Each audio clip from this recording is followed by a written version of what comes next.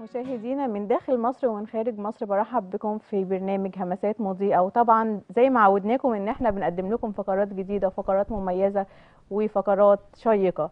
طبعا معانا النهاردة فقرة آه، فنان شامل.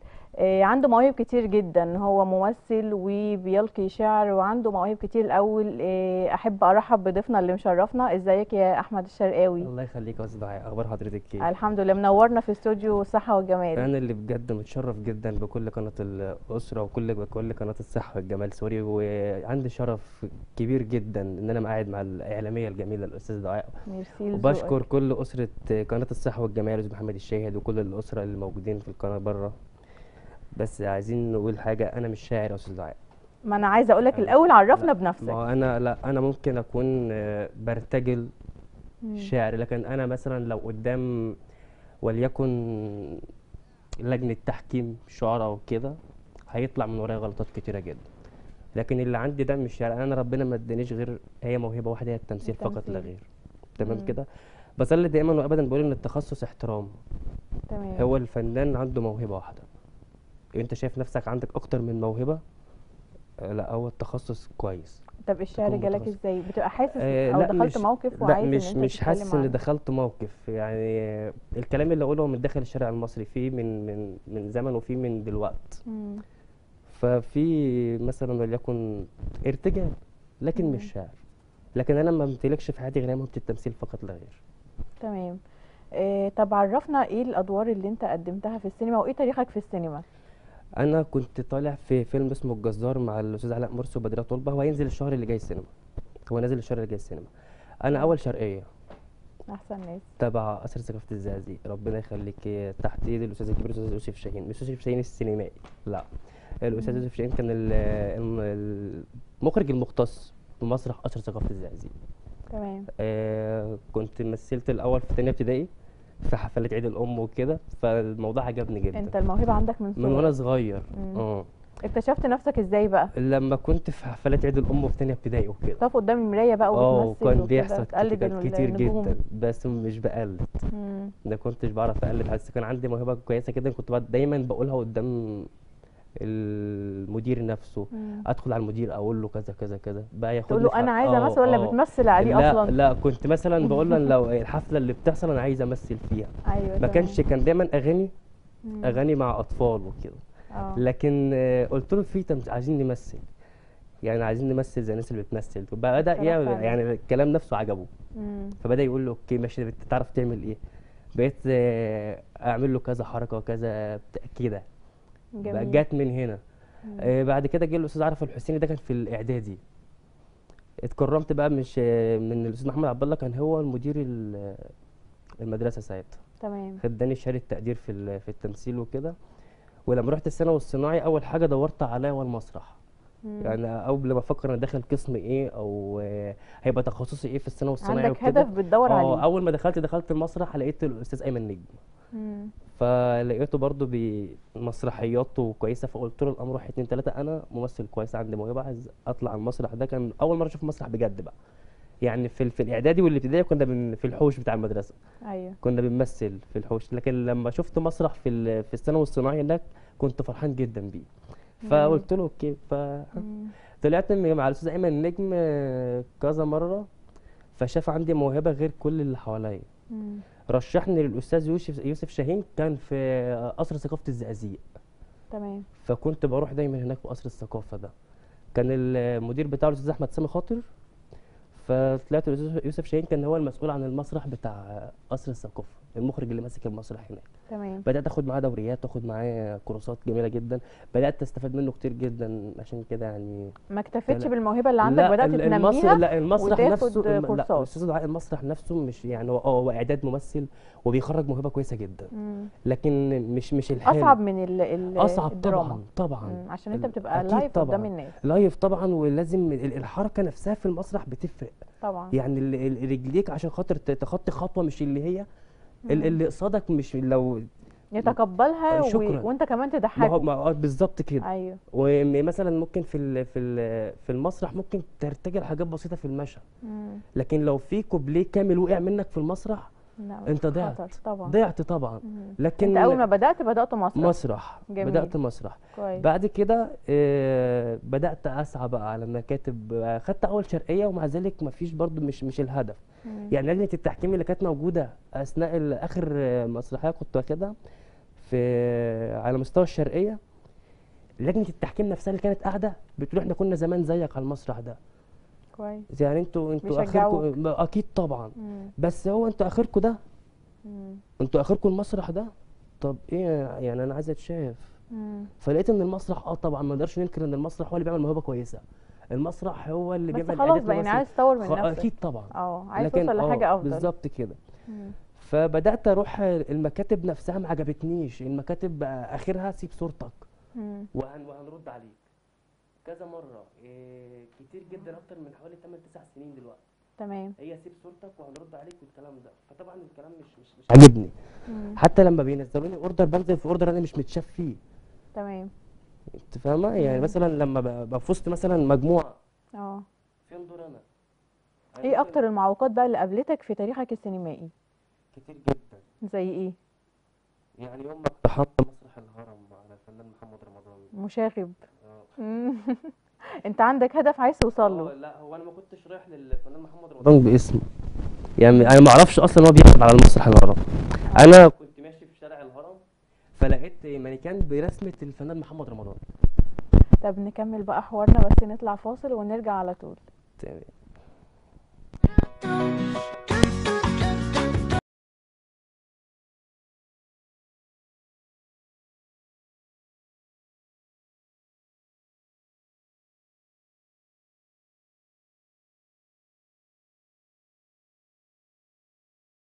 الفاصل مع الفنان الشامل ال- الموهبة الرائعة أحمد الشرقاوي. ربنا يخليك يا أستاذ أحمد أنت مجهز لنا شعر عايز تقوله النهاردة في- ارتجال يعني؟ آه آه. مجهز ارتجال عايز طيب، أقول ورينا بقى وسمع السادة المشاهدين. قصيدة بعنوان طموحات وهمية. طموحات وهمية. كلام المواليد 90 حتى مواليد 2000 بالتحديد. كلام المواليد 90 حتى مواليد 2000 إننا جيل مثل باقي الأجيال. إحنا جيل زي أي جيل إننا جيل مثل باقي الأجيال. لا إحنا أقوى من الصخور ولا طولنا مفارق الجبال. لا ذكائنا خارج الحدود ولا طموحاتنا في الخيال. إحنا الجيل اللي بيحلم بخطوة صح في مستقبله وعمرنا ما طمعنا نكون زعماء مجال. إحنا الجيل اللي جينا سمعنا عن كل حاجة حلوة لكن ما شفناهاش. سمعنا عن زمن جدودنا. زمن الطيبة وقلوب صافية وأيام أمان. إحنا ما حسنهاش إحنا الجيل اللي جه في زمن غريب وقوانينه أغرب. إحنا الجيل اللي عاشرنا ناس بتضحك في وشنا وقلبها جوه منها مرسومة على هيئة عقرب. بيجبروك تبقى زيهم مش بمزاجك ده غصب عنك. ما هي لما ضربة موتك تجيلك من القريب لما ضربة موتك تجيلك من الأقرب يبقى لازم تعيش عقرب. إحنا الجيل اللي حضر قانون المصلحة وشغل تحت الترابيزة وجبر خواطر. إحنا الجيل اللي عايز يفهم انهي قلب بيشوف الحق بعينيه ويروح يماطل في الباطل.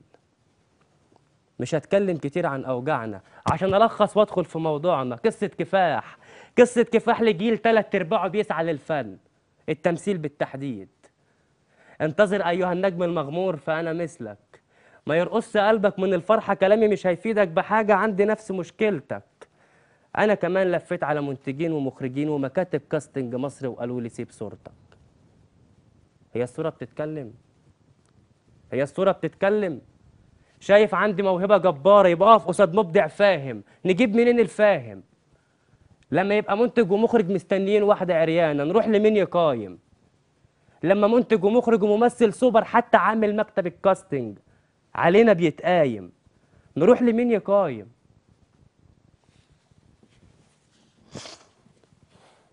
أكمل؟ خلاص لا أنت لسه إيه؟ في لا لسه في. لا، أكمل كمل أنت. أكمل؟ كمل. بس إيه كم الوجع اللي في القصيدة ده؟ معلش. كمل.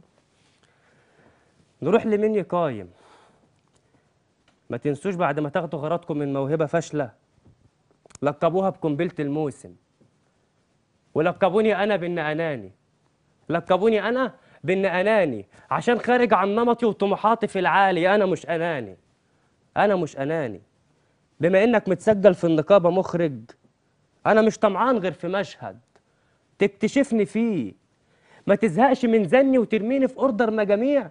ما تشافش فيه. أنا مش كومبارس افرح بوجبة و150 جنيه. أنا النجم المغمور اللي من أجل موهبته ساب بلده وقعد لكم في الشارع. أكتر من التراب اللي فيه. أسكت إزاي؟ أسكت إزاي وأنا شايف هدفي قدام عيني محتال؟ يعني إيه نجم من دولة تانية وجنسية غير الجنسية ينفتح له مئة ألف باب في المجال؟ ما بكفايانا شغل تحت الترابيزة ومصالح وغسيل أموال. يقاطعنا ناقد فني قابض قرشين يقول لي stop stop أنتوا اللي جيل فشلة.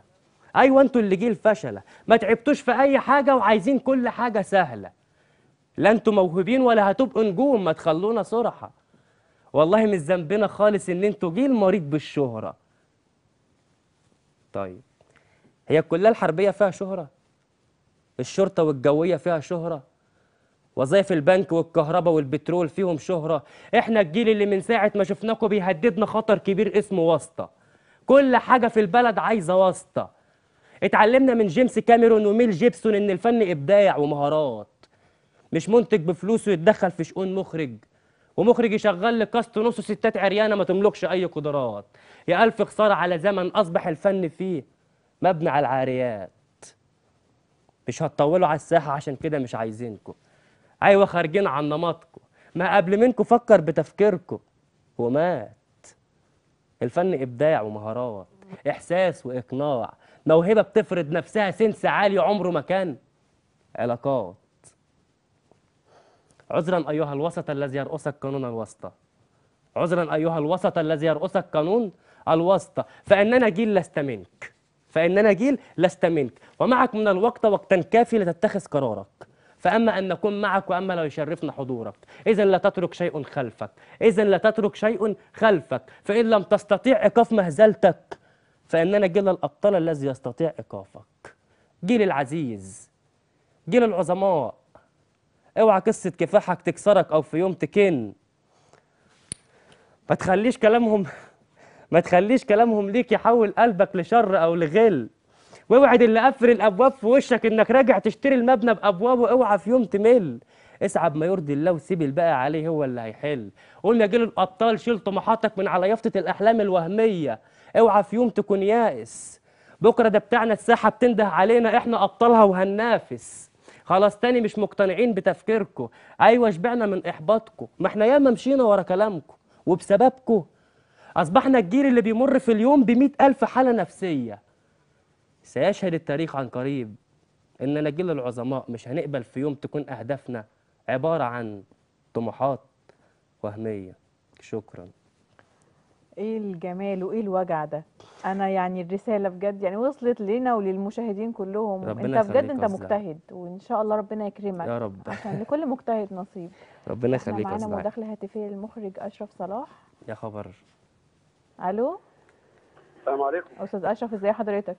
ازي صحتك؟ عاملة إيه؟ أخبارك؟ الحمد لله تمام. أستاذ أحمد أخبارك إيه؟ الحمد لله يا دكتور أشرف بجد شرف هتشرف بيه طول عمري. مداخلتك ليا في البرنامج يا دكتور أشرف حاجة مش هنساها في الحياة يعني. أنا متشكر حبيبي يا جدا. أحمد. حبيبي يا أحمد أنا طول عمري بقول عليك ممثل من الدرجة الأولى وعقلك كله يقظة. ربنا يخليك يا دكتور أشرف. و... و... وشهادتي فيك مجروحة. ربنا يخليك يا و- دكتور أشرف و- والله. وال- اتفضل يا دكتور. اللي أنت مع... عامله معايا من أعلى المشاهد في فيلم سر الجزار. ربنا يخلي حضرتك يا دكتور. دكتور أشرف ما حدش له فضل عليا في الوسط الفني كله غير ال- المخرج الكبير أخويا الكبير الأستاذ أشرف صلاح. اكتشفك. آه يعني ما حد آه ما حدش ليه فضل عليا في الوسط تما. غير الاستاذ الدكتور أشرف صلاح. متشكر جدا يا دكتور. بشكر حضرتك يا. دكتور أشرف. انطلق يا أحمد وما تخافش وإن شاء الله كلنا وراك. ربنا. يخليك يا دكتور.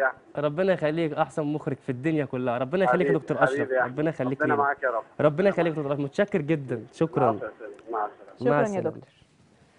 آه، أحمد آه، طبعا الدكتور أشرف المخرج ال- العظيم طبعا يعني هو قال اكتشف الموهبة بتاعتك فأنت فعلا شخص موهوب ربنا اجتهد وإن شاء الله ربنا هيكرمك وهيوفقك ولكل مجتهد نصيب ال- الوحيد الدكتور أشرف صلاح اللي عمل كده يعني من غير مديلك إيده. من غير من غير أي بس حاجة يا انت عشان. عشان هو شايف فيك من غير موهبة أي حاجة من عشان غير أي شايف فيك حاجة موهبة. آه يعني أنا بتشكر له جدا بجد والمداخله الجميلة دي أنا بتشكر له جدا جدا مين اللي. شجعك بقى آه، من صغرك إن أنت تنمي موهبة ال ال التمثيل والشعر وكل المواهب اللي عندك لا هو أنا يعني أنا أنا اتولدت في بيئة يمكن مش مش مش بيقتنعوا بالكلام ده يعني مش مش إن حد أغلب أهالينا فعلا مش آه، مقتنعين إن آه، ابنه يبقى يعني ممثل أهالينا أو دايما كده من الناس الطيبين جدا مم. أهلي كلهم ناس طيبين جدا يعني هم عايزين يخليك. عايزين ياكلوا عيش. بس يعني تمثيل وفن وكلام من ده مش لا فبالتالي مش بس زينا، مش لا توبنا. لا مم. لا فدايما كنت أنا على يقين إن إن حتى لو النهارده حلو أكيد بكرة أحلى ما كنتش دايما بزعل من حد لما بيقول لي خلاص أو بيحبطني أو بيقول لي حاجة لا مين كان واقف في ظهرك بقى وبيشجعك كتير برضه ليا أصحاب كتيرة جدا كانوا بيشجعوني طبعا مم. يعني والدتي مثلا جميل. والدتي طبعا بنوجه لها تحية كبيرة من داخل استوديو الصحة والجمال عايز أقول إن نور عيني اللي مم. بشوف بيه ربنا يخليها يعني لك. ربنا يحفظها بالدنيا كلها هي ووالدي وإخواتي واصحابي الجدعان. ليا برضو صحاب جدعان برضو كويسين وقفوا جنبي برضو. بي- حتى وأنت شايف. هدفك قدامك بتسعى ليه؟ بسعى ليه؟ مش لا منتظر لا. برضه حد يدعمك لا أو مش يشجعك؟ منتظر لأن حتى لو لو لو انتظرت بنتظر مكالمات كده مش بتعجبني برضو. يعني تمام. مثلا لو حد مثلا عايز يشجعك ما بيعرفش مثلا يوصل لك يشجعك إزاي. مم. أنت فاهمة؟ يعني مثلا إيه, إيه المكان اللي أنا اتولدت فيه ناس كتيرة جدا احبطوا هيهاجموك. آه، الممثل ليه؟ أنت فاكر نفسك آه إيه؟ بالظبط طب كده. إحنا معانا مداخلة هاتفية حمادة صبحي والو أيوه حمادة. ألو؟ الصوت فيه حاجة. أيوه يا حمادة. عم أحمد اتفضل. مساء الخير يا أستاذ حمادة. هو تقريبا خط الخط. فصل. طيب مم. تمام. آه طيب آه في فيديو طيب ممكن تقدمه لنا في ال control؟ طب يا أحمد أنت برضو يعني عر... ما كملتش إيه المعوقات اللي قابلتك في تاريخك السينمائي عقبال ما الفيديو يجهز؟ أنا كنت اتخ- اتخذت كام مرة كده بسبب برضه ما كنتش مقتنع خالص بحتة ال- ال cast مكتب ال cast وسيب صورتك وكده. فكنت دايما عايز الم- الممثل بعينه المخرج بعينه المنتج بعينه مش هقبل أروح مكتب كاست ويجي يحطني في أوردر مجاميع أنا مش مش هتعرف فيه. تمام. يعني مش ينفع مثلا أقول للمشاهد في وسط ال 700 عسكري دول على فكرة أنا وسطهم يعني. أنت. فاهمة؟ صح. لا لازم ولو يكن مثلا مشهد واحد. أنت شايف إن ده قليل آه، عليك إن آه أنت طبعاً، عندك طاقة طبعاً، آه وموهبه طبعاً. عايز تظهرها. آه لكن ده مش ده اللي يعني- خلاك تقتحم من آه، المسرح على المسرح محمد اللي على رمضان. الفنان محمد رمضان. إيه اللي حصل؟ بقى هو هو كل اللي حصل ما كنتش أعرف السنة إن الفنان محمد رمضان بيعرض على مسرح الهرم أيوه. أنا كنت رايح لواحد مكتب فاتح جديد اسمه إسكو. أيوه. كان في الدقي. فكنت رايح أركب من هناك من شارع الهرم. فجيت قدام المسرح فلقيت مانيكان برسمة الفنان محمد رمضان. تمام. فرحت لبتاع الأمن فلقيت يافطة مكتوبة مسرحية أهلا رمضان الفنان محمد رمضان إخراج الأستاذ نادر جلال اللي ماسك مركز الإبداع في دار الأوبرا. تمام. فرحت لبتاع الأمن فبتكلم معاه فبقول له أنا ممثل كويس وعايز بس أقابل الفنان محمد رمضان. فقال لي أنت حضرتك هتقطع وتدخل تتفرج لكن عشان تقابل محمد رمضان أنت هتضرني يعني. كده أنا هتضر تمام. فقلت له طب هي كلمتين أنا مش هتأخر يعني أنا دخلني بس ليه؟ ومش في إيده حاجة برضه. مش في إيده آه. فقلت له حضرتك قال لي عشان خاطري أنا مش مش هينفع. أنت. كده هتضرني أنا. مم. فبعد إذنك اتفضل فمش هينفع. فوانا ماشي زي ما كنت صعبت عليه. فبيقول لي خلاص خد أقول لك. في ظهر ال- المسرح ده الباب الخلفي للفنان محمد رمضان. تمام. هو بيطلع الساعة 4 الفجر من بيكون آخر عرض للمسرحيه الساعة 4 الفجر. مم. الناس فأنت- كلها تمشي بقى آه. فهو بي بي ففضلت مستني وأنا مستنيه. كان في واحد زي ما يكون مسؤول عن ال... عن الباب ما حدش يدخل ولا حد يخرج ولا الكلام ده. تمام. قاعد هو واتنين اتنين معاه. قاعدين في اتنين شباب من سن كده. مم. فسهيته وجيت أدخل فقال لي تعالى. قلت له قال لي أنت رايح فين؟ قلت له أنا عايز اقابل الفنان محمد رمضان. قال لي معاك ميعاد قلت له لأ. تمام. فقال لي خلاص اتفضل مش انت مالكش انك تقابل الاستاذ محمد رمضان وكده. قلت له أنا مش هتأخر عليه قال لي انت مش هتدخل أساسا. فاسلوبه. في الكلام أساسا ما عجبنيش. فعشان يعني منعا للمشاكل أو منعا لأي حاجة أنا سبت المسرح نفسه بعدت بتاع 10 متر كده على ما. هو يخرج أكلمه. مم. فما فيش برضه. لقيته جاي بيقول لي انت لو مشيتش من هنا أنا هحبسك. فقلت له أنا هدخل المسرح ده على فكرة وهقابل الاستاذ محمد وهتكلم معاه. قال لي مفيش الكلام ده. قلت له لا ينفع.